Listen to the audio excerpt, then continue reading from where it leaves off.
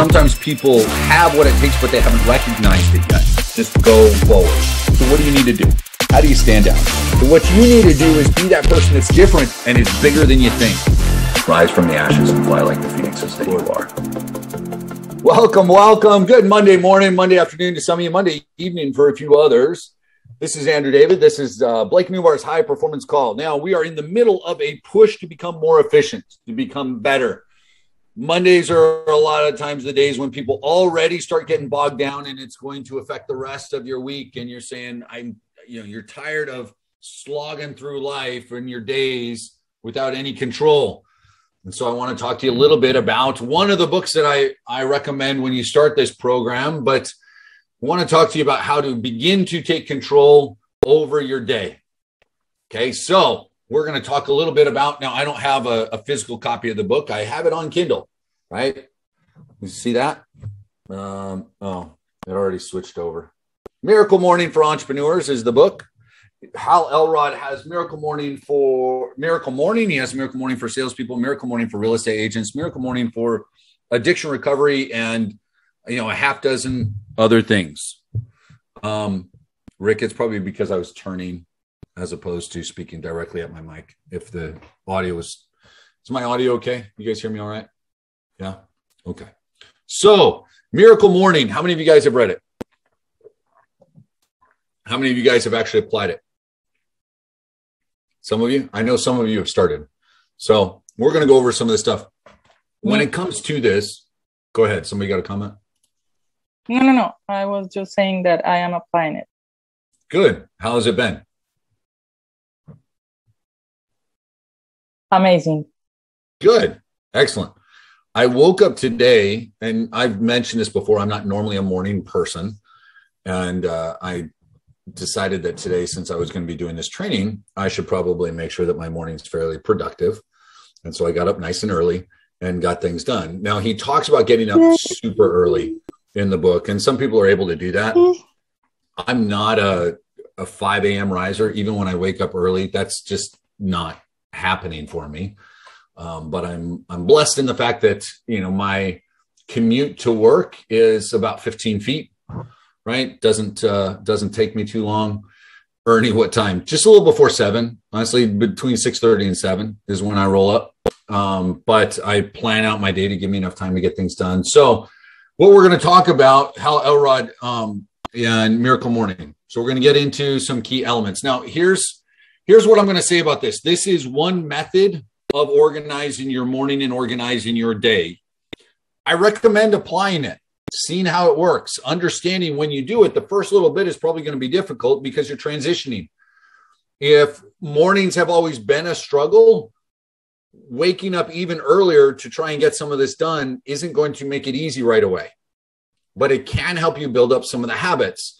The key to all of this uh, is establishing control, pulling some of that control back and putting it in your hands. And if you can do that first thing in the morning, especially at the beginning of the week, it can really set you up for more success. So try it out. Try it out for a few weeks. See how it works. You may end up keeping some of it. You may keep all of it. You may modify things. There's different ways that you can run this. Okay. So here's one of the reasons that we talk about. One of the reasons why personal development is so important. So this is a quote from Jim Rohn. And if you're unfamiliar with him, go do some study because he's absolutely fantastic guy. So he talks about your level of success will seldom exceed your level of personal development. Your level of success will seldom exceed your level of personal development. So if you are going through this process and you are struggling, trying to get things going, um, then or or you've done it a few times, start here. Start with personal development. Start with you. Okay, so we're talking about Miracle Morning for entrepreneurs, the book I just showed you now. Savers is the key, the overarching message without this book. So it's an acronym, Savers. We're going to talk about each of these letters. Okay, I'm going to go fairly quickly because I want to hit each one. If you've read the book, then you'll know some of this. So share with me, guys, some of your thoughts as we go through. Number one, he talks about first, you know, you're setting up your morning, you're getting into your day, and we begin with silence.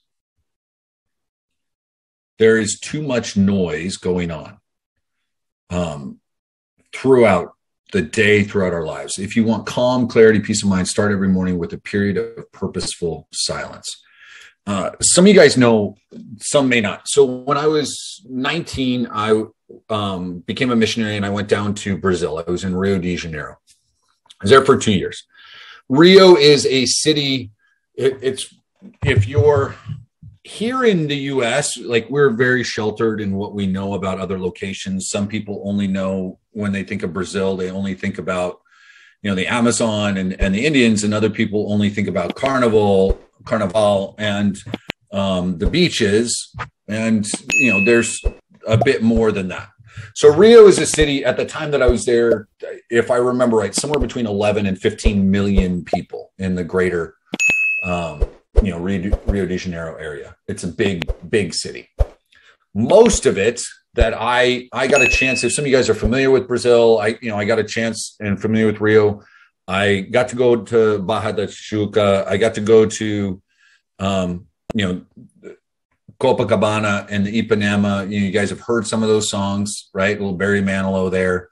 You know, visited Pão de Açúcar and the Cristo Redentor, the big Christ statue. Um, got to do all sorts of cool stuff but I was there doing missionary work, and then I was in all of these areas that a lot of times you wouldn't visit as as a tourist, right? Now it's also a very very large city with a tremendous population with a lot of music, and what I mean by a lot of music is just about every city you would walk down. If you're not familiar, if you've never really been to a Latin country, it's hard to really describe to you how much people interact with other people. If you're used to being like, I, I'm not exactly sure how UK is because I haven't visited yet. Here in the US, people go to work, they go to their homes, they go to the stores, but you don't hang around with people in neighborhoods at least as much as they do there. Everybody is always out and talking, and music is always playing, and cars are always going by playing music. And half the time, there are speakers up on telephone poles as you're walking down the street and it's like you're going through an MTV, you know, music video half the time. You know, there's always a background song playing no matter what you're doing. Did I learn Portuguese? Yes. Yeah, I, I am fluent. I read it, write it, speak Portuguese. Absolutely. I came back uh, at the time speaking very much like a carioca.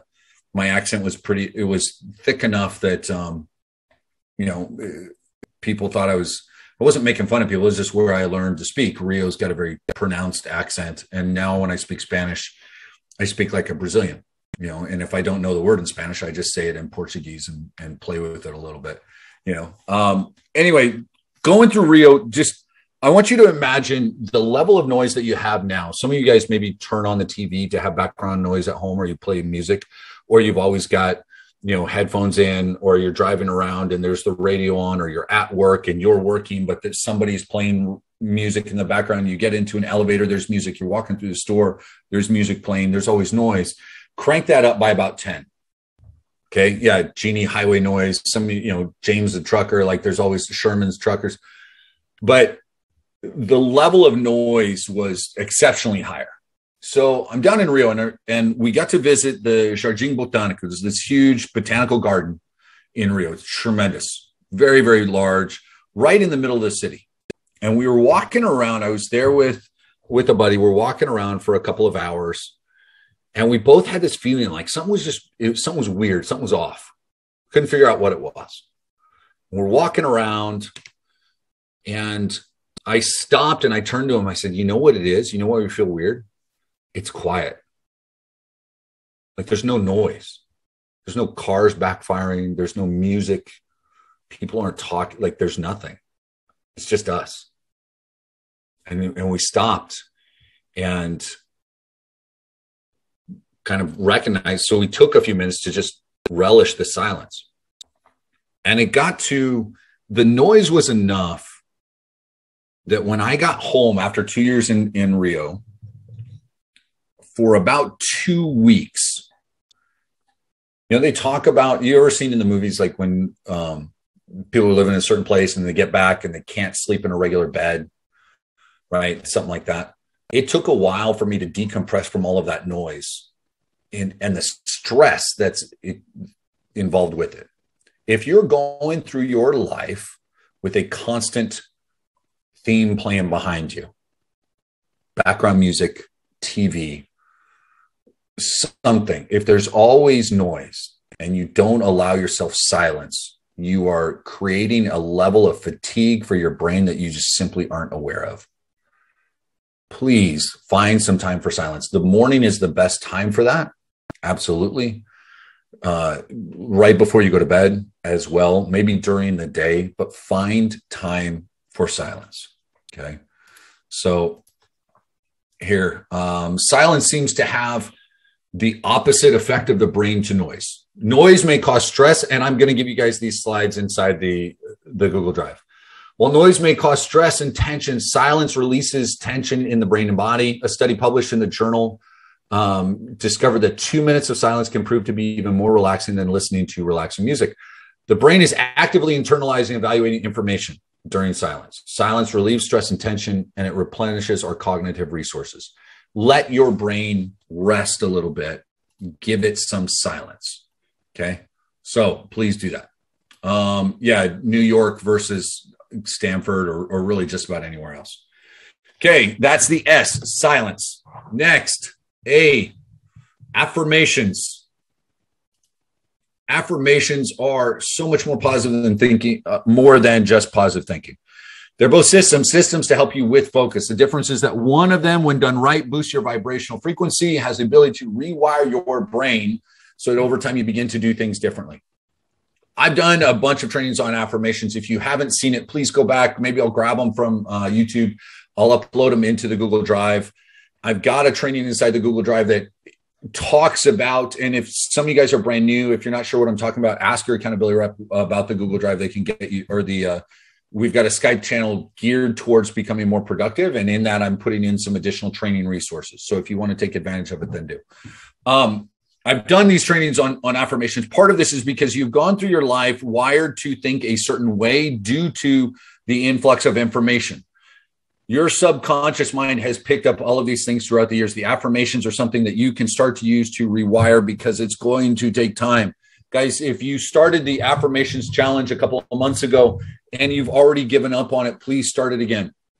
If you did it for 30 days or you did it for half of those 30 days and you're going, ah, it didn't really give me what I thought it would, please try it again and keep trying it over and over and over again. Some of you guys may follow me on Instagram, some may not, but I was sitting at the gym yesterday and this is where the affirmations come in. And this is where going through that struggle and pushing yourself past is important. You know, I was sitting there and I, I I was doing cardio that I don't enjoy. Like I was pushing a sled back and forth and I was doing sprints. I don't enjoy doing that.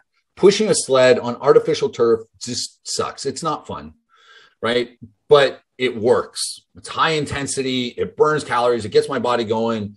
I can feel a difference afterwards. I didn't wake up yesterday go- excited for it. I didn't want to go do the stairmaster. I didn't want to do the the sled. I you know, it's not like you wake up oftentimes going, "Oh, I I've got to do this." but I did it anyway. And you feel great afterwards, or at least you feel good because everything releases into, you know, affirmations is kind of the same type of thing. And look, throughout the last year, as I've put health back on, you know, my priority list, it's become easier. And but I haven't been perfect. I'm nowhere near perfect when it comes to that kind of stuff. I I enjoy fajitas and pizza and tacos. Like I I like good food. I probably eat it more than I should you know it's affected how much i've been able to lose but i've lost over the year probably about 20 pounds i've gotten myself healthier i've put myself in a better position even though i've struggled with it at times because i consistently come back to it. Affirmations is one of those things as well. You're looking to rewire your brain and it's not going to happen overnight. It's not going to happen in two weeks or three weeks. And for some of us it may not even happen in two months or three months.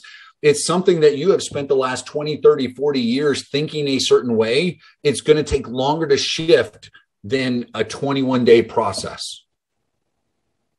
And so if you've let go of it come back if you do it for a couple of days and you slip again that's okay come back to it the more consistency consistency you can bring to it the more powerful that transformation can become the more it'll slowly work its way in and you'll be able to achieve something with it and then those affirmations you'll get to the point where you wake up going, man, I, I'm so ready for those.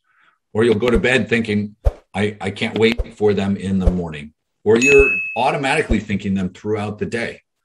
They can be powerful in your journey as an individual, as an entrepreneur. Next, visualizations. It activates the creative power of the subconscious mind, motivating it to work harder at creating solutions. You'll also have new levels of motivation and find yourself doing things that normally you would avoid, but that will take you closer to success. Jack Canfield is the author of uh, Chicken Soup for the Soul. Look, visualization. So, detailed goals and visualizations. People that ha- are able to work on visualizations and, and put down specific goals are anywhere between 1.2 to 1.8 per, or times more likely to achieve a goal than someone that doesn't bother visualize. Meaning you got a better chance if you're working on visualizing things. Just that. Just sitting down and thinking about it. If you go, well, I can't, you know, I try, but it's just not, you know, it's difficult for me to visualize it. Well, then keep practicing. That's what a visualization board or putting it on your phone or whatever you need to do. Spend some time visualizing it, maybe during the time that you're silent, right? Has anyone, how many of you have practiced visualization? Okay, a number of you. Good. Keep doing it. Don't give up on it. Is the video feed working? Michael's saying it, it's getting choppy. Is that all right? Okay. Okay. Next, Exercise. Andrew. Yeah. But I don't know if I'm doing it like the visual, visualization right because uh, I believe that Hal tells us like in the book like we have to feel like we already have what we are seeing, and I don't know. I just imagine things. I don't know. It's well, just... it doesn't necessarily have to be. Here's the thing about there's a difference, guys, in visualization and and goals and pushing yourself and doing more to to achieve goals and being delusional right or or visualizing the process to get to where you're going right and what i mean by being delusional is you know i had someone one time um, who had never been on social media at all um, came and said look in the next five years i want to be bigger than jeff bezos jeff bezos and i I stopped for a second. I said, Well, Jeff Bezos didn't become Jeff Bezos in five years. You want to become bigger? I said, Okay, so what problem are you going to solve? I said, What do you mean? I said, Well, Jeff Bezos solved a, a pretty large problem, right? And then he scaled that, and then he solved more problems, and he scaled that. And then he happened to hit it during a time when you know everything else happened so it scaled even further. What problem are you wanting to solve? And you know he's coming in and he's wanting you know i mean look build a rocket and fly to the moon have a business that has however many hundreds of thousands at this point possibly millions of employees. Okay it's going to take more than 5 years right? I mean that's just the reality. He's being a bit delusional. Now setting yourself up to achieve a certain income goal looking at you know having your business set a certain way living in a certain location doing some of those things the power of visualization and i don't know i you know i've spoken with some of you that have achieved certain things because of the visualization that you've gone through. I know i've been able to do certain things because of that. There's power there. It doesn't have to be like imagine what it's like to be there it doesn't have to be oh i've you know i've achieved a hundred million dollars like you know look at the steps to get there as well right? And maybe we'll do a, a more in-depth training on visualization. So uh, Ernie's asking, is meditation in the morning you're silenced? So I do the affirmations and then I try to do some meditation.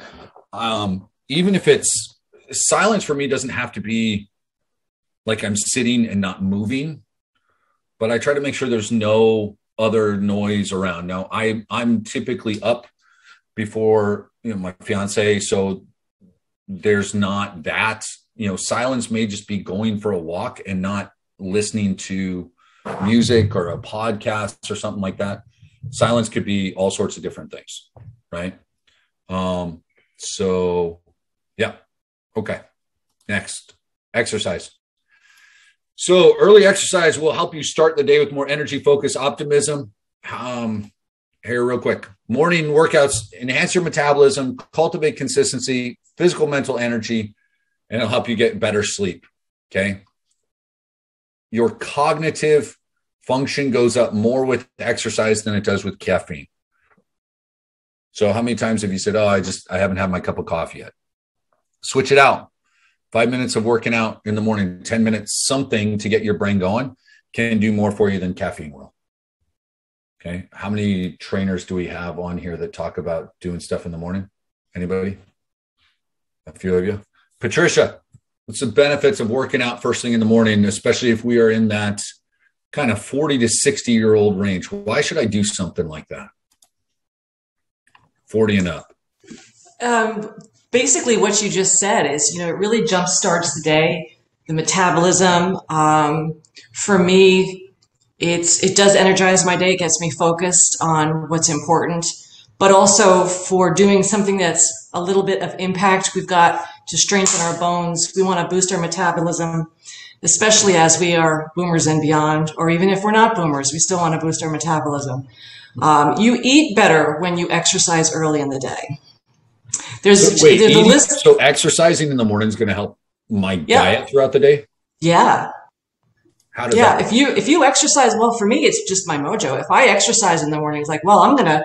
It's not a. I don't want the reward. I want the reward of good food to nourish my body, to strengthen me, to keep me, you know, charging full speed ahead. Because I need my energy not just for me, but for my clients. So think about the people that you are impacting with your your with your being, and when you are raring to go, not only do you succeed, but so do the people around you.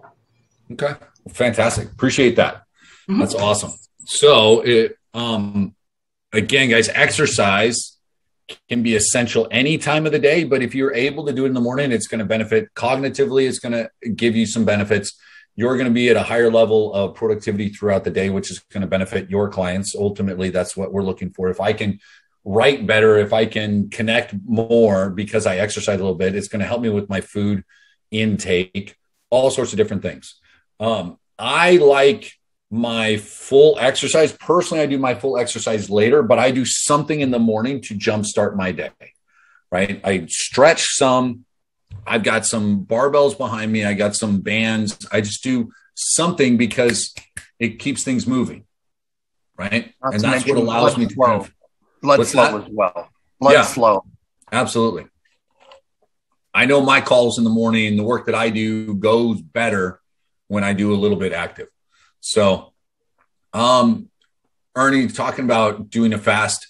So when it comes to, you know, just as a um, disclaimer, because I've got to, because everyone's in different situation. If you're ne- if you haven't been active for a real long time, seek out the the help or advice of a medical professional. Um, diet wise, before you do anything crazy, whether you decide you want to go keto or you want to go paleo or you want to go vegan or you want to do intermittent fasting, all of those things can be incredibly beneficial for different people at different times for different reasons. Um, where we can't give you full nutritional advice and things like that here, other than the fact that we can all be better we could all probably use some type of supplementation because I don't care how good your diet is. Most food nowadays just doesn't have the same nutrients that it did decades ago. So even if you're vegan, oftentimes I get this, and I got it, uh, you know, when I was doing nutritional microscopy. Oh, I don't need that. I get everything from the plants and stuff that I eat. Odds are you don't. There's a good chance that you don't because it's not the same thing. Oh, but I eat organically. Well, are they you know, rotating the soil as often as they should? Are they, you know, giving it the right kind of nutrients? Are they adding this? Do they have that? Like supplementation can be helpful. All of that said, please, you know, seek out a nutritionist or a doctor if you have to. But at the same time, as long as you're not going too extreme, you can test certain things out. Right. I know dairy for me in general, I don't have a problem with milk sugar. I have a problem with milk fat. But any dairy, even if I'm doing skim milk, like I I feel like my face floats up and like I retain water in a different way. So I don't drink dairy. Right? There's other th- certain carbs will affect me. Right? Like everybody's going to be a little bit different. Figure out what works for you. But exercise is one of those things that everybody can do, even if it's limited. Everybody can be a little bit more active. So I just shared the Skype channel. That's why that is. Okay, next reading. Okay. I've talked about this before. Average people don't read enough. Leaders are reading 60 to 100 times more than regular people. Leaders are readers, but not not all readers are leaders, but all leaders read. What you read is going to be important. I've given a book list. If you run through those five books, you want other books, let me know. I mean, describe your situation. There's probably a book that I can recommend. But a couple of reasons why reading is important, guys. It lowers stress levels by as much as 68%, which is more than listening to music. It's more than having a cup of tea or coffee, and it's more than taking a walk. Reading, in part because it allows your brain to kind of get away from the current situation for a, a few minutes. And sometimes that is one of the most beneficial things that we have. Okay. Uh, it can be like mental gymnastics for the brain. Research supports the notion that reading influences our thought process and is a very for, potent form of brain training. Andrew, and then, yes. I want to share something. I just okay. uh, came back from a vacation and I was there with my father and a, and a friend of mine. And then we took like four books. Like we were like supposed to be there uh, in, at the place for seven days. And my dad just read the books, the four of them in seven days. And I was like, holy crap. And uh, yeah, it was yeah, I couldn't. So, yeah, reading. Some people read faster, and that's you know that's great. Look, um, Michelle's asking, does it matter what type of books? I don't. I don't think that, as far as the stress reduction goes, then that part may not be as affected. Overall, personal development, growth, and brain training. Yeah, there's going to be a difference, right? You'll want to read things. So I balance out because I love some good you know fantasy and fiction novels. I absolutely do. There's a handful of authors that I really love. So every time a book comes out, I've got it. I've got a list of books, a lot of books inside my Kindle that I haven't read yet that I'm getting to. Um, but then I also have, you know, my personal development books and everything. So like right now, the personal development book that I'm reading, and I'm not saying you have to go out and buy this, you know, stick with the ones that you've got. I'm reading Future Proofing You. Is a book that I saw. I thought it was kind of a cool concept. Um, so I went and grabbed that. So I'm in the middle of reading that. I'll have that done uh, within the week. I'll grab a different one. Everybody, you know, is a little bit different. I read both. If you like physical book, I read physical books and Kindle, and I'll listen to Audible. But the reading for stress reduction is going to be actual reading and not the audio version, right? So because you're, it's different parts of functionality for the brain. Okay. Any other questions on reading? No, we're good there. All right. So one of the last things here is scribing. So this is the last S for savers. What he's talking about is writing, journaling, right? All sorts of different things, free writing. So I like doing it in the morning and I'm doing more and more at night. Okay. It helps regulate emotions, gain perspective. Um, one of the reasons it's important at night is because of that just that emotional toll and and if you're frustrated sitting down and writing out gratitude will help you and and studies have been done with this where if you're at the end of the night doing a little bit of free writing and then sitting down and writing out things that you're grateful for helps improve sleep quality how much more peacefully are you going to sleep if you write down what you're grateful for before you sleep versus laying down and stewing over frustrating things that you've got Okay. So uh, discover the ideas that you didn't know you had. The best way to solve a particularly challenging problem is to work really hard on it for a while and go do something else and then bring clarity and focus to your work. I like writing down goals and some ideas first thing in the morning. I've got um, a book here. Every single day, I'll write in my goals and then a couple of thoughts that I have along that line. And then I've got another book that I write out at night. That's kind of that's my diary. So I, that's what I do right? Hopefully, you guys have something along those lines. So, savers, S A V E R S. We have silence, affirmations, visualizations, exercise, reading, and scribing. Miracle Morning for Entrepreneurs. It's a fantastic book. Even if you don't want to read it, go onto YouTube sometime today and do a, a five to 10 minute, you know, find one of those, um, you know, summaries. You can watch that, but take a look at your day, figure out what you can do. Now, the full savers time frame doesn't mean I have to spend an hour with each one of those. Five to 10 minutes of silence, five to 10 minutes of affirmations, five to 10 minutes of visualization, all the way through. So 35 minutes to an hour, ballpark, is what I spend in the morning to get myself going. If you can't do that long, then a minute of each one is still better than nothing.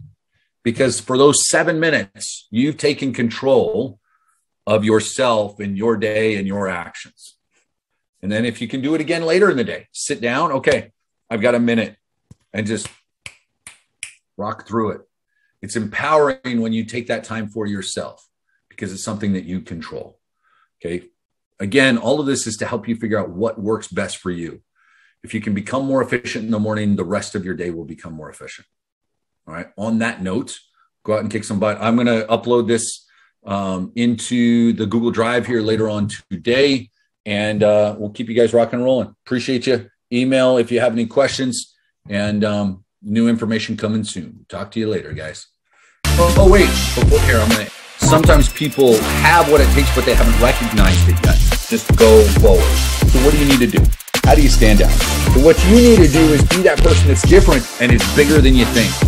Rise from the ashes and fly like the phoenixes that you are.